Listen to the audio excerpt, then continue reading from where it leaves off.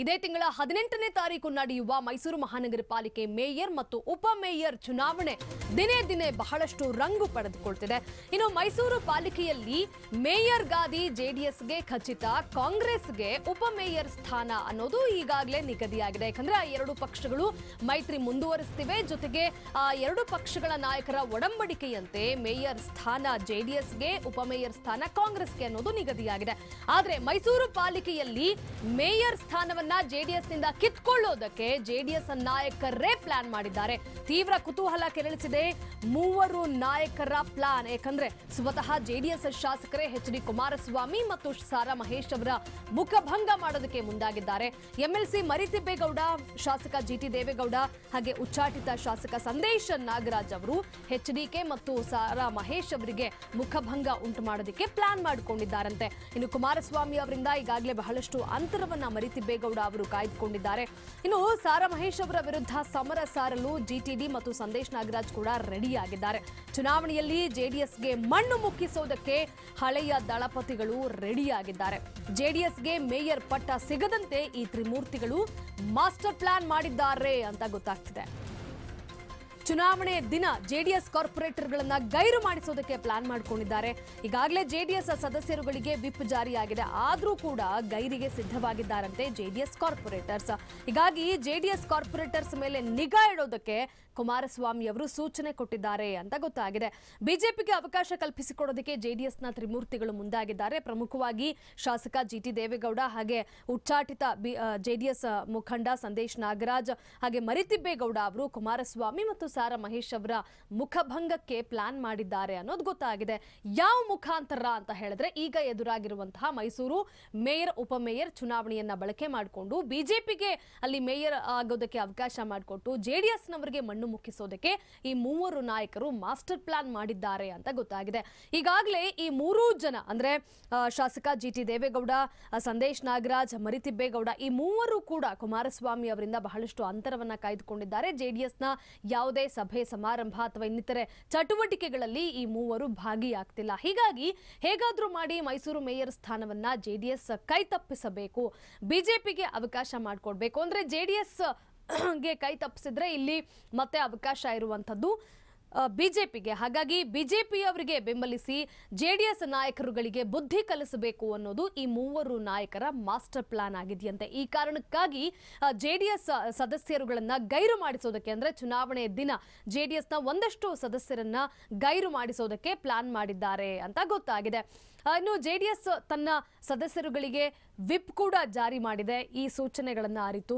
ಇನ್ನು ಯಾವಾಗ ಈ ವಿಚಾರ ಗೊತ್ತಾಯ್ತೋ, ಅಂದ್ರೆ ಸ್ವಪಕ್ಷೀಯ ನಾಯಕರೇ ನಮ್ಮ ಶಕ್ತಿ ಕುಂದಿಸೋದಕ್ಕೆ, ಮೇಯರ್ ಪಟ್ಟ ತಪ್ಪಿಸೋದಕ್ಕೆ ಮುಂದಾಗ್ತಿದ್ದಾರೆ ಎಂಬ ಸುಳಿವು ಅರಿತ ಜೆಡಿಎಸ್ ನಾಯಕರುಗಳು ವಿಪ್ ಜಾರಿ ಮಾಡಿದ್ದಾರೆ ತಮ್ಮ ಕಾರ್ಪೊರೇಟರ್ಸ್ಗೆ. ವಿಪ್ ಜಾರಿ ಆದ್ರೂ ಕೂಡ ಜೆಡಿಎಸ್ ಸದಸ್ಯರನ್ನ ಗೈರು ಹಾಜರಿ ಮಾಡಿಸೋದಕ್ಕೆ ಈ ಮೂವರು ನಾಯಕರು, ಅಂದ್ರೆ ಜಿ ಟಿ ದೇವೇಗೌಡರು, ಸಂದೇಶ್ ನಾಗರಾಜ್ ಮತ್ತು ಮರಿತಿಬ್ಬೇಗೌಡ, ಈ ಮೂವರು ಕೂಡ ಮುಂದಾಗಿದ್ದಾರೆ. ಈ ಮುಖಾಂತರ ಮೈಸೂರಿನಲ್ಲಿ ಜೆಡಿಎಸ್ ಶಕ್ತಿಯನ್ನ ಕುಂದಿಸೋದಕ್ಕೆ, ತಮ್ಮ ಪ್ರಭಾವವನ್ನ ಹೆಚ್ಚು ಮಾಡಿಕೊಳ್ಳೋದಕ್ಕೆ, ಜೆಡಿಎಸ್ ಪಕ್ಷದ ಶಕ್ತಿಯನ್ನ ಕುಂದಿಸೋದಕ್ಕೆ, ಜೆಡಿಎಸ್ ನಾಯಕರಿಗೆ ಪಾಠ ಕಲಿಸೋದಕ್ಕೆ ಮುಂದಾಗಿದ್ದಾರೆ ಎಂಬ ಮಾತುಗಳು ಕೇಳಿ ಬರ್ತಿವೆ. ಈ ಬಗ್ಗೆ ಮತ್ತಷ್ಟು ಮಾಹಿತಿ ಕೊಡೋದಕ್ಕೆ ನಮ್ಮ ಪ್ರತಿನಿಧಿ ಮಹೇಶ್ ಕೆಬ್ಬೆ ನ್ಯೂಸ್ ಡೆಸ್ಕ್ನಿಂದ ನೇರ ಸಂಪರ್ಕದಲ್ಲಿದ್ದಾರೆ. ಮಹೇಶ್ ಕೆಬ್ಬೆ, ಮೈಸೂರು ಮಹಾನಗರ ಪಾಲಿಕೆ ಮೇಯರ್ ಸ್ಥಾನ ಜೆಡಿಎಸ್ಗೆ ಅಂತ ಬಹುತೇಕ ಫಿಕ್ಸ್ ಆಗಿದೆ. ಯಾಕಂದ್ರೆ ಎರಡು ಪಕ್ಷಗಳ ಒಡಂಬಡಿಕೆ ಪ್ರಕಾರ. ಆದ್ರೆ ಜೆಡಿಎಸ್ನ ಸ್ವಪಕ್ಷೀಯ ನಾಯಕರುಗಳೇ ಈಗ ಮೈಸೂರು ಮೇಯರ್ ಗಾದಿಯನ್ನ ಜೆಡಿಎಸ್ ಕೈ ತಪ್ಪಿಸೋದಕ್ಕೆ ಹಾಗೆ ಮೈಸೂರಿನಲ್ಲಿ ಜೆಡಿಎಸ್ ಶಕ್ತಿಯನ್ನ ಕುಂದಿಸೋದಕ್ಕೆ ಯಾವ ರೀತಿ ಮಾಸ್ಟರ್ ಪ್ಲಾನ್ ಮಾಡ್ಕೊಂಡಿದ್ದಾರೆ, ಏನ್ ಮಾಡ್ತಾರೆ ಈ ಮೂವರು ಸೇರಿ? ಶಿಲ್ಪ, ಮೈತ್ರಿ ಸರ್ಕಾರ ಇದ್ದಂತಹ ಸಂದರ್ಭದಲ್ಲಿ ರಾಜ್ಯ ರಾಜಧಾನಿ ಏನೇ ರಾಜ್ಯ ರಾಜಧಾನಿಯಲ್ಲಿ ಯಾವ ರೀತಿ ಅಚ್ಚರಿ ರಾಜಕೀಯ ಬೆಳವಣಿಗೆ ಆದವು, ಅದೇ ರೀತಿಯಾದಂತಹ ಅಚ್ಚರಿ ರಾಜಕೀಯ ಬೆಳವಣಿಗೆಗಳು ಮೈಸೂರು ಸಾಂಸ್ಕೃತಿಕ ನಗರಿ ಮೈಸೂರಿನಲ್ಲಿ ಕೂಡ ಆಗ್ತಾ ಏನು ಬೆ, ಮೈತ್ರಿ ಸರ್ಕಾರ ಇದ್ದಂತಹ ಸಂದರ್ಭದಲ್ಲಿ ಆ ಒಂದು ಮೈತ್ರಿ ಸರ್ಕಾರವನ್ನು ಯಾವ ರೀತಿ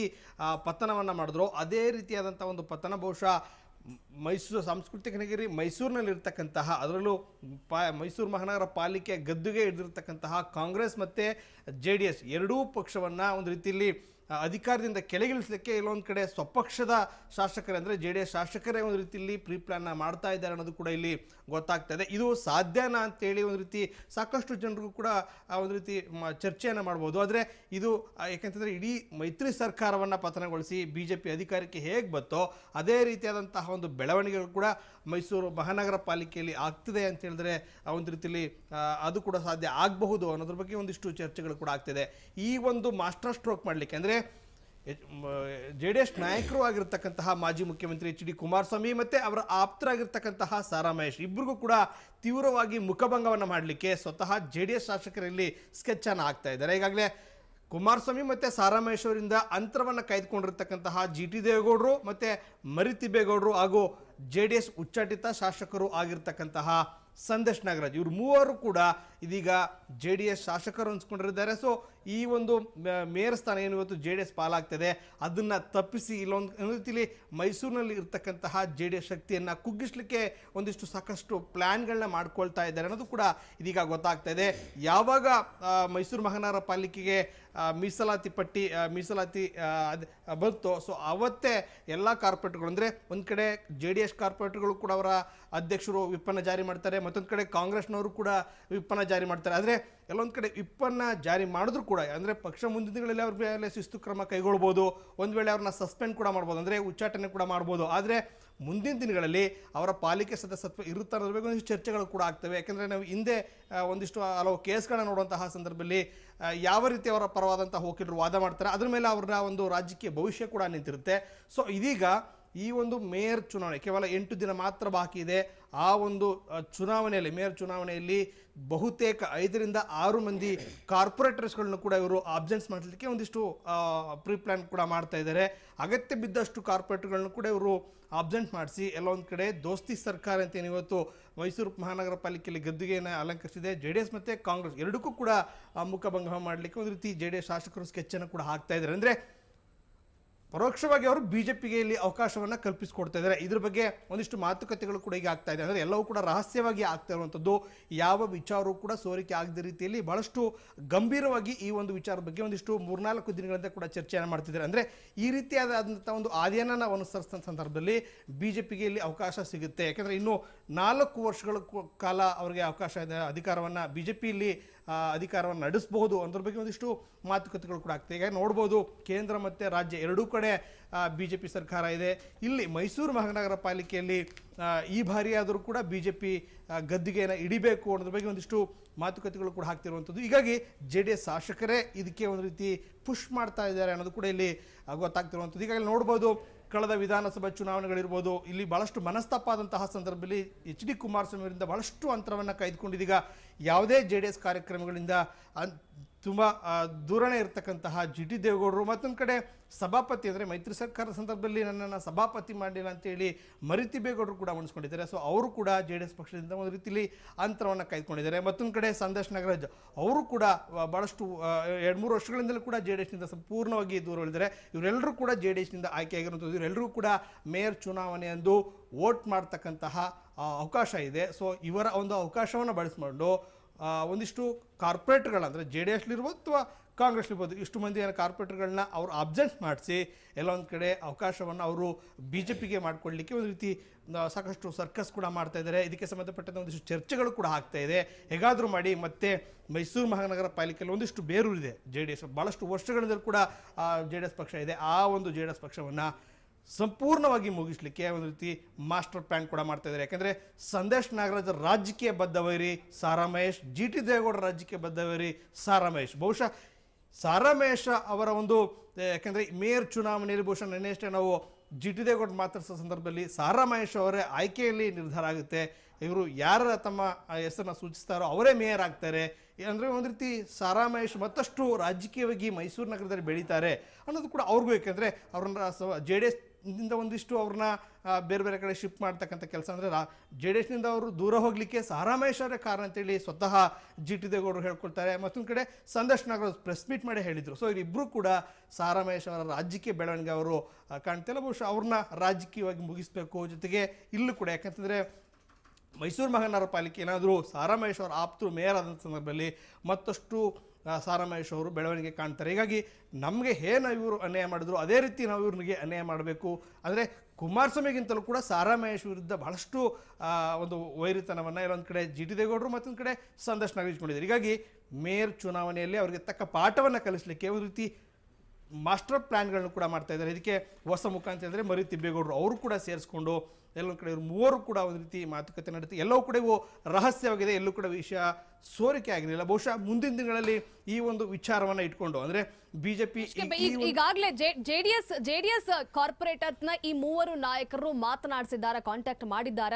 ನೀವು ಅವತ್ತು ಗೈರು ಹಾಜರಾಗಿ ಮುಂದೆ ನಿಮಗೆ ಬೇರೆ ಬೇರೆ ರೀತಿಯಾದಂತಹ ಅವಕಾಶಗಳನ್ನ ಕಲ್ಪಿಸಿಕೊಡ್ತೀವಿ ಅಂತೇನಾದ್ರೂ ಅವರಿಗೆ ಭರವಸೆ ಕೊಟ್ಟಿದ್ದಾರ ಈ ಮೂವರು ನಾಯಕರು? ಅದ್ರ ಜೊತೆಗೆ ಈ ವಿಚಾರ ತಿಳಿದು ಸಾರಾ ಮಹೇಶ್ ಅವರು ಯಾವ ರೀತಿ ತಮ್ಮ ಕಾರ್ಪೊರೇಟರ್ಸ್ ಗಳನ್ನ ಕಾಯುವಂತಹ ಕೆಲಸಕ್ಕೆ ಮುಂದಾಗ್ತಾರೆ. ರೆಸಾರ್ಟ್ ರಾಜಕಾರಣ ಕೂಡ ಇನ್ನೆಂಟು ದಿನಗಳಲ್ಲಿ ಶುರುವಾಗಬಹುದಾ ಅಂತ ಮಹೇಶ್ ಕೆಬೆ ಆ, ಖಂಡಿತವಾಗ್ಲೂ ಶಿಲ್ಪ. ಯಾಕಂತಂದ್ರೆ ಮೈತ್ರಿ ಸರ್ಕಾರ, ಕಾಂಗ್ರೆಸ್ ಮತ್ತೆ ಜೆ ಡಿ ಎಸ್ ಈ ಮೈತ್ರಿ ಸರ್ಕಾರ ಪತನ ಆಗುತ್ತೆ, ಸರ್ಕಾರ ಬಿದ್ದೆ ಹೋಗುತ್ತೆ ಅಂತ ಹೇಳಿದ್ರೆ ಯಾರು ಕೂಡ ನಿರೀಕ್ಷೆ ಮಾಡ್ತಿಲ್ಲ. ಆ ಒಂದು ವಿಚಾರ ಎಲ್ಲೊಂದು ಕಡೆ ಅಸಾಧ್ಯ ಅನ್ನುವಂತಹ ಒಂದು ಮಾತುಗಳನ್ನ ಕೂಡ ಇಡೀ ರಾಜ್ಯದ ರಾಜ್ಯ ಜನರು ಕೂಡ ಹೇಳ್ತಿದ್ರು. ಆದರೆ ಆ ಒಂದು ಸಂದರ್ಭದಲ್ಲಿ ಸೆಷನ್ಸ್ ಆರಂಭವಾದಂಥ ಸಂದರ್ಭದಲ್ಲಿ ಸ್ವತಃ ಜೆ ಡಿ ಎಸ್ನ ಮೂವರು ಮತ್ತೆ ಹನ್ನೆರಡು ಮಂದಿ ಶಾಸಕರು, ಕಾಂಗ್ರೆಸ್ ಶಾಸಕರನ್ನ ಅಬ್ಸೆಂಟ್ ಮಾಡಿಸಿದ್ರು ಇಡೀ ಸರ್ಕಾರವನ್ನು ಪತನಗೊಳಿಸಿದ್ರು ಬಹುಶಃ ಅದೇ ಸ್ಟ್ರಾಟರ್ಜಿಯನ್ನ ಮೈಸೂರು ಮಹಾನಗರ ಪಾಲಿಕೆಯಲ್ಲೂ ಕೂಡ ಮಾಡಲಿಕ್ಕೆ ಈ ಮೂವರು ಶಾಸಕರು ರೆಡಿ ಆಗ್ತಾ ಇದ್ದಾರೆ.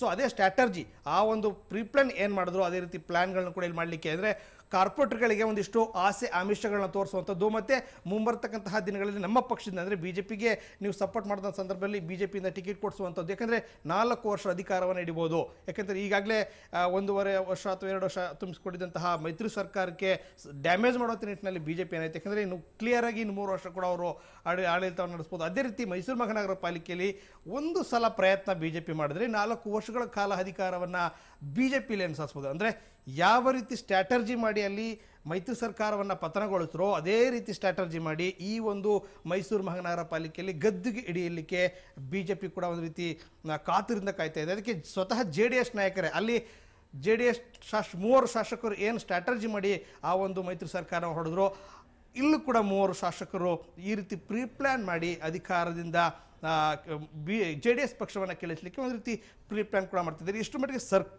ಸಕ್ಸಸ್ ಆಗುತ್ತೆ ಅನ್ನೋದು ಕೂಡ ಗೊತ್ತಾಗ್ತಿಲ್ಲ. ಭಾಳಷ್ಟು ಚರ್ಚೆ ಕೂಡ ಆಗ್ತಾ ಇದೆ. ಈ ರೀತಿ ಒಂದು ಪ್ಲ್ಯಾನ್ ಕೂಡ ಮಾಡ್ತಾ ಇದ್ದಾರೆ. ಮುಂದೆ ಈ- ಈ ರೀತಿ ಮಾಡೋಣ ಅಂತಲೂ ಕೂಡ ಒಂದು ಒಂದು ರೀತಿ ಸ್ಕೆಚ್ ಕೂಡ ಆಗ್ತಾ ಇದ್ದಾರೆ. ಬಿ ಜೆ ಪಿಯ ಸಂಸದರಾಗಿರಲಿ ಬಿ ಜೆ ಪಿಯ ಶಾಸಕರಾಗಿರಲಿ ಅಥವಾ ಉಸ್ತುವಾರಿ ಸಚಿವರು, ಬಹುಶಃ ಇದಕ್ಕೆ ಏನಂತಾರೆ ಅಂತ ಇನ್ನೂ ಕೂಡ ತಿಳಿದು ಬಂದಿಲ್ಲ. ಸೊ ಅವ್ರನ್ನೂ ಕೂಡ ಒಂದು ರೀತಿ ಮಾತುಕತೆ ಕರೆಸಿ, ಈ ರೀತಿ ಮಾಡಿದಂಥ ಸಂದರ್ಭದಲ್ಲಿ ನಿಮಗೆ ಸಂಪೂರ್ಣ ನಾಲ್ಕು ವರ್ಷ ಅಧಿಕಾರವನ್ನು ಇಡಿಸಲಿಕ್ಕೆ ಒಂದು ಅವಕಾಶ ಸಿಗುತ್ತೆ ಅಂತೇಳಿ ಇವರು ಕೂಡ ಹೇಳ್ಬೋದು. ಸೊ ಆ ರೀತಿಯಾದಂಥ ಒಂದು ಪ್ಲ್ಯಾನ್ ಆಗ್ತಾ ಇದೆ. ಎಲ್ಲವೂ ಕೂಡ ರಹಸ್ಯವಾಗಿ ಆಗ್ತಾ ಇದೆ. ಯಾವ ವಿಚಾರವೂ ಕೂಡ ಸೋರಿಕೆ ಆಗ್ತಾ ಇಲ್ಲ. ಬಹುಶಃ ಕೇವಲ ಎಂಟು ದಿನ ಮೇಯರ್ ಎಲೆಕ್ಷನ್ ಇದೆ. ಎರಡು ಮೂರು ದಿನಗಳಲ್ಲಿ ಇವರ ಒಂದು ಪ್ರೀ ಪ್ಲ್ಯಾನ್ ಸಕ್ಸಸ್ ಆಗುತ್ತಾ ಅಥವಾ ಫೇಲ್ಯೂರ್ ಆಗುತ್ತಾ? ಅಥವಾ ಯಾವ ರೀತಿ ಇವರ ಒಂದು ಮಹತ್ವದ ಬೆಳವಣಿಗೆಗಳ ಕುರಿತಾಗಿ ಏನು ಚರ್ಚೆ ಮಾಡ್ತಿದ್ದಾರೆ? ಅದು ಎಷ್ಟು ಮಟ್ಟಿಗೆ ಕಾವನ್ನು ಪಡೆದುಕೊಳ್ಳುತ್ತೆ? ಎಲ್ಲವೂ ಕೂಡ ಇನ್ನೆರಡು ಮೂರು ದಿನಗಳಲ್ಲಿ ಕ್ಲಿಯರ್ ಆಗಿ ಗೊತ್ತಾಗುತ್ತೆ. ಶಿಲ್ಪ. ಧನ್ಯವಾದ ಮಹೇಶ್ ಕೆಬ್ಬೆ ನಿಮ್ಮೆಲ್ಲ ಮಾಹಿತಿಗಾಗಿ.